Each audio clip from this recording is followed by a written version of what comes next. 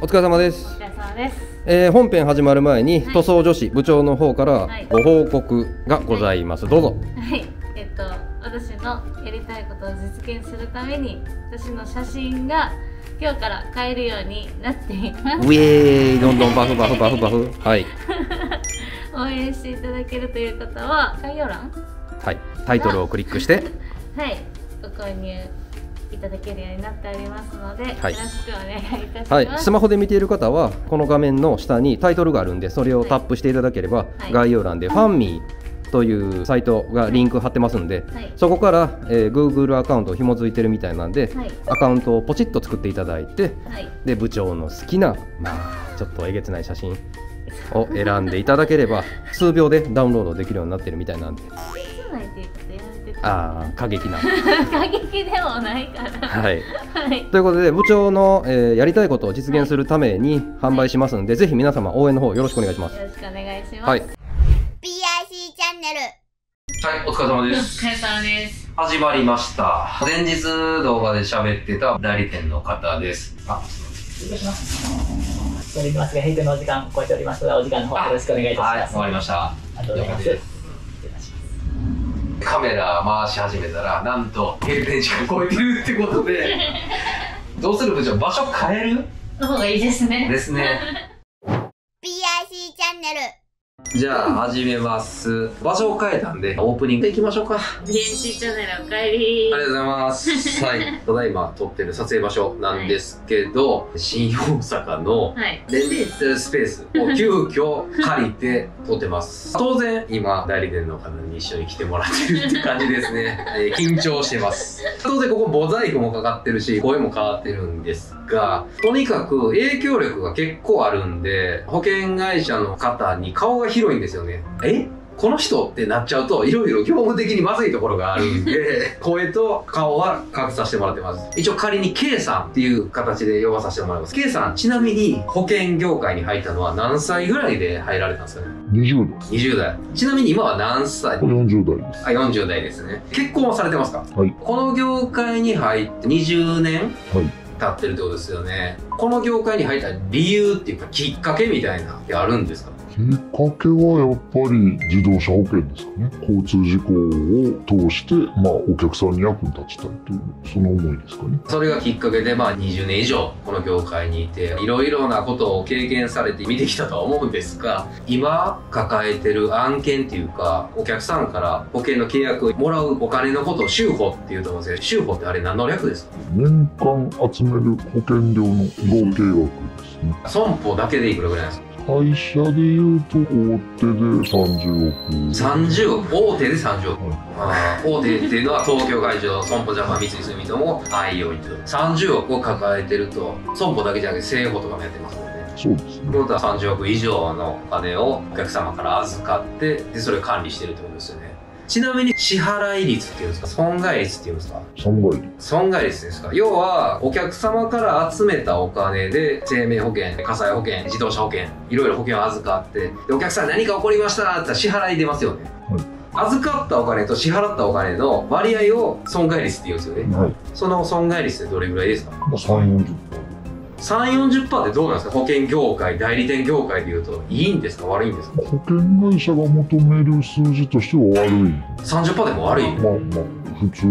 もっと抑えろって抑えてほしいのは20%台。20%だよ20%台。それはあれでしょ？エビデンスとかなくてなんとなく雰囲気としてあるといや、もともとその保険で預かるお金が全部その保険会社の売り上げじゃなく、その保険っていう理屈上でどうしても準備金として集める分があるんで、そこの残りの部分から費用として利益を出したり、代理店手数料出してるんで、多分利益率って考えるともっと薄いからだと思う。ああなるほどいろいろ経費がかかってるからその2割だけが支出じゃないよってことですよね、今回の動画ってノート事故しました。で相手がトラック共済だったっていうとこなんですけど今の話って結構大事でみんな言うんですけど保険会社って出し渋るよねって。はいはい。今回そのノートの事故 K さんは全部知ってますよね経緯は。結論14万円でしたよね。はい。過失割合が82でうちが2割相手が8割悪いと。90万円近くの請求を相手に出して、えー80万円の6割やったら64万円だったかなんだったか計算したら普通に。まあまあ相殺してるんで50 50何万円が常識的に言ったら入ってくるだろうって多分誰もが想像できたと思うんですけど結果として14万円だったっていう経緯と理由相手の最初のリアクションっていうか K さん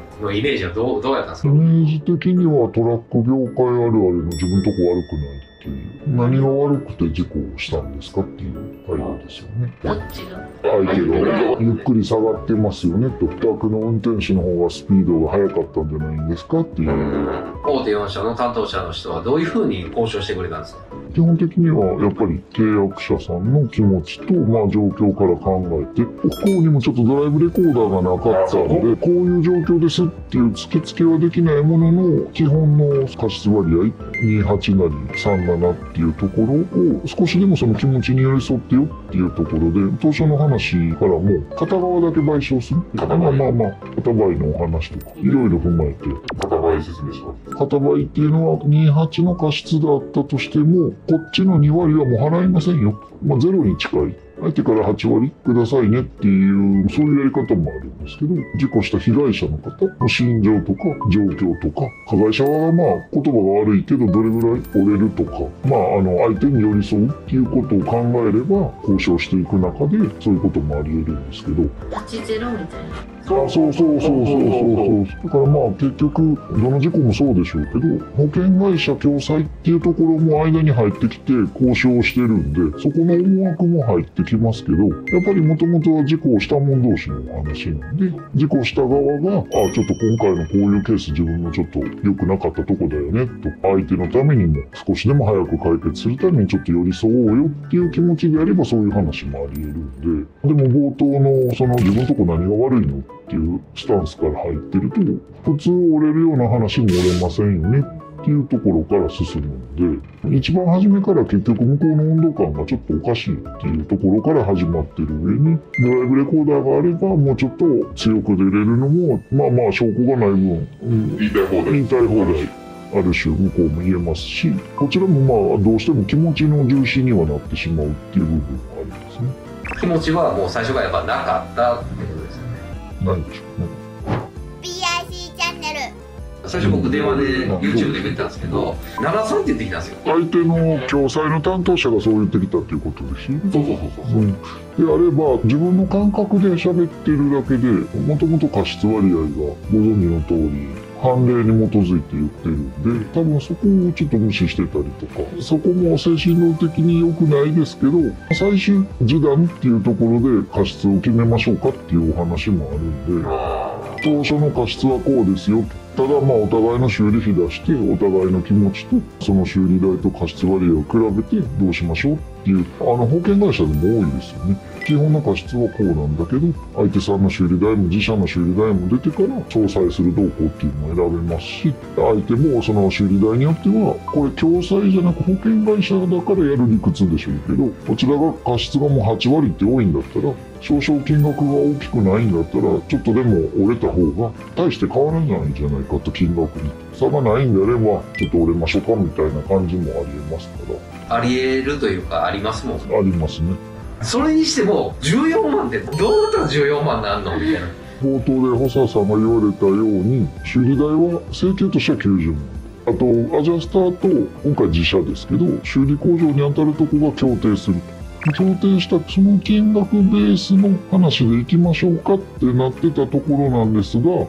回のノートってレンタカーでレンタカーの場合の経過年数どれぐらい持つよって車がというところで年式的に6年以上経ってるっていうところで原価償却終わって時価としては当初買った時の10分の1ぐらいの時価ですよっていうお話もあるんでそことその修理代っていう両方の選択がある状態で相手が修理代で譲歩してくれたんなら言われるように大きめの金額をもらえたんだけど今回はそこを相手が譲歩しなくって時価で押し通してくるっていうことになったんでどうしてもその総裁っていう行為をした結果手元に来るのが14万っていうことですね。あのノートの時価総額って何ぼでしたっけ？22,3だっただったんじゃないですかね。あんだけ損害あってもあの車自体がボロボロの年式とかやったらほんまにゼロの可能まあ、ゼロはないでしょうけど、10分の1ぐらい。そこで、そこで、そこで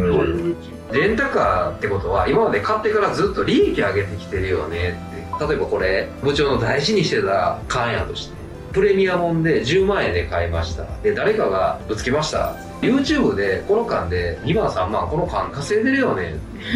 これ10万やけどもう10万以上稼いでるからで俺の過失2割やから2000円でよくね？って言ってるとは一緒なんですよ。どれぐらい違うんですか？その一般の新車のノートとレンタカーで購入して商売してる人だ年数で言うと、まあ、8年と6年の差とかじゃないですかね。太陽単価っていうので、はいはいでも8年と6年ってそんなに壊れ前しなくねって思うんですけどまあ、2年の差と、あと、焼却率が一般車だと、新車だと2、3割。それ以降、テンパーぐらいなんで、レンタカーだと詳細にちょっと覚えてないですけど、剥がり幅が大きかったっていうんですね。総合距離も言うても5万とか6万とかまあそんな一般市場で言うとカーセンサーなんか見たら100万とか120万で売ってるような車が何本でしたっ20数万ですよね。け20万円？ええカーセンサーで120万とかで売られてても20万円ってレンタカーってだけで判断するレンタカーと年式ですよね年数ね年数。ですよねレンタカーの期間とか関係ない？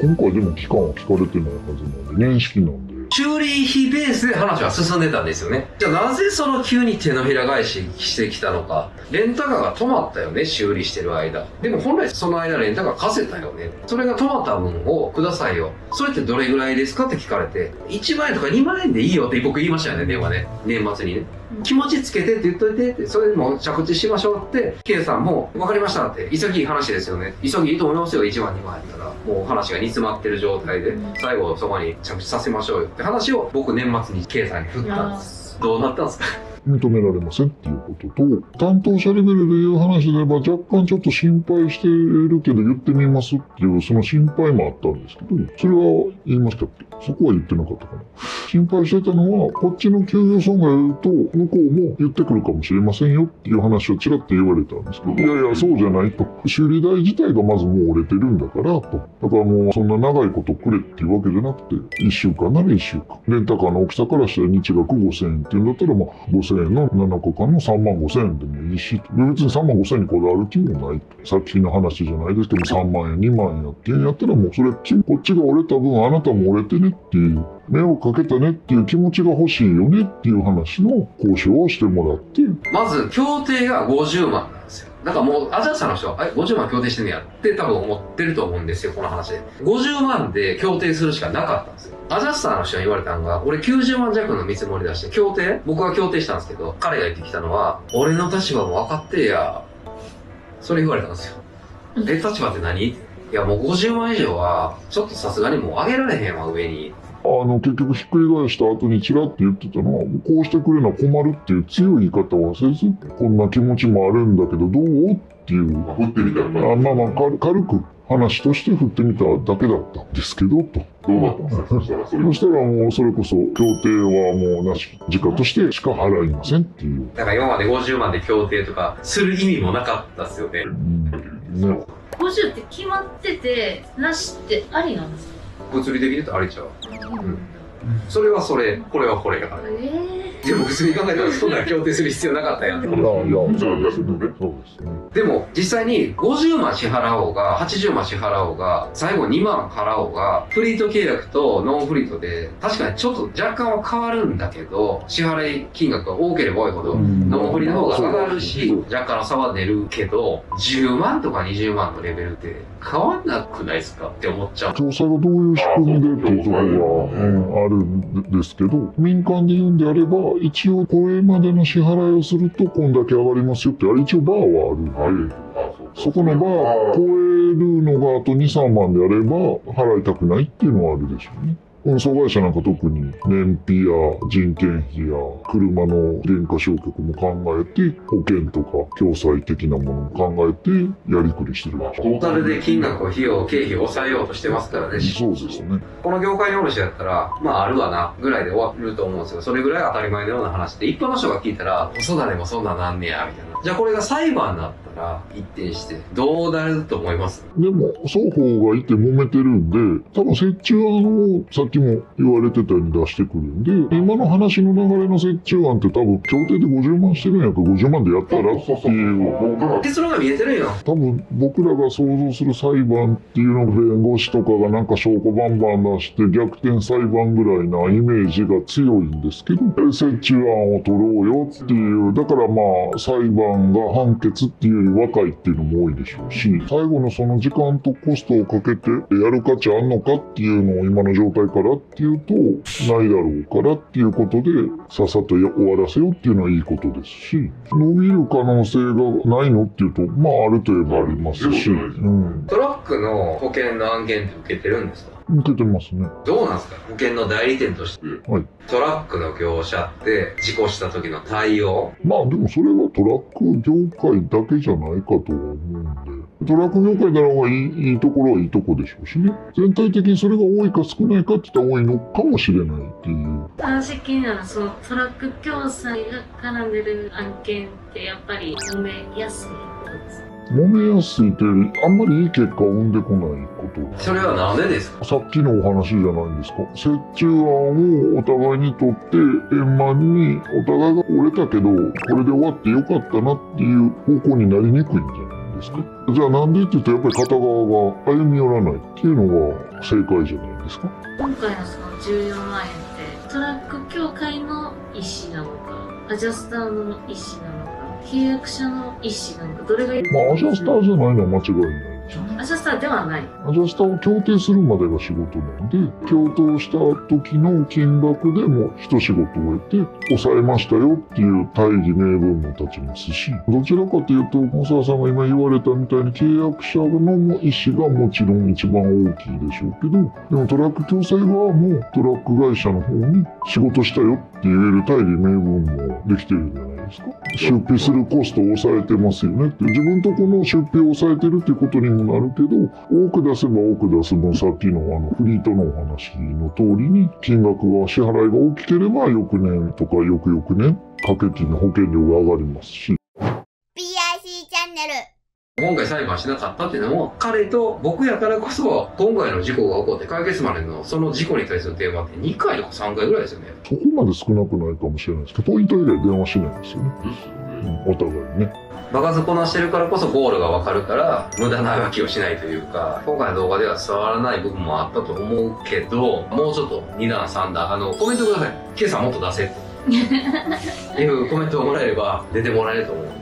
ぼちぼち時間も時間やから、そろそろ締めましょうか。はいはい。部長最後の質問とかあっていい？じゃあもう次回に次回に持ち。越してはい、はい。というわけで、はい新大阪のレンタルオフィスからお届けしました。はレンタい。ルスペースレンタルスペース。じゃあ部長、締めてください。いってらっしゃい板金塗装業界盛り上がれチャンネル登録もよろしくね